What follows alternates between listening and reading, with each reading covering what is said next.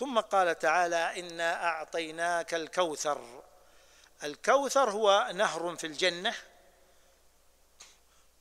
يصب في حوض في الجنة وهبه الله جل وعلا لرسوله صلى الله عليه وسلم. وهذا النهر وهذا الحوض لا ترد عليه إلا أمة محمد عليه الصلاة والسلام.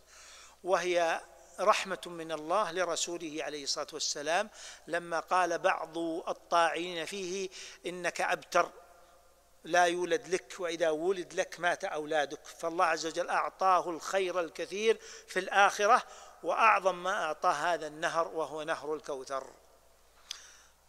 ثم أمره أن يشكر الله على نعمه التي وهبه إياها فقال فصل لربك وانحر والمراد صل كل صلاتك لله جل وعلا وحده لا شريك له. وانحر واذبح كل نحرك وذبحك لله وحده لا شريك له. فهذه الآية في التوحيد. ثم بين أن مبغض النبي صلى الله عليه وسلم هو المقطوع. مقطوع في الدنيا ومقطوع في الآخرة من كل خير.